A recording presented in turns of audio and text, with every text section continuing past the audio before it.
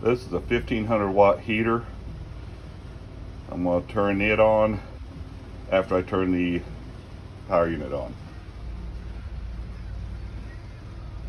Power unit, power inverter on.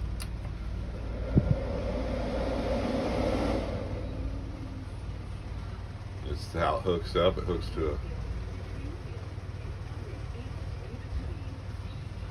Okay, now I'm gonna turn the heater on so you can watch what goes on up there the lights. Heater coming on. Nothing. Heater don't even come on. I show no power. No power whatsoever out of that plug. That plug.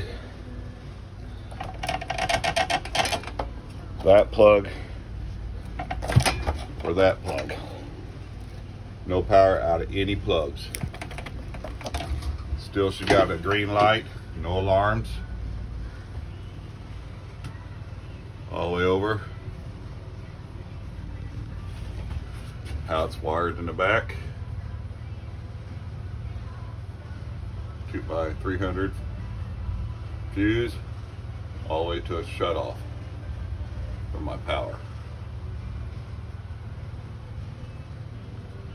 And yes, it is grounded ground wire to live power ground.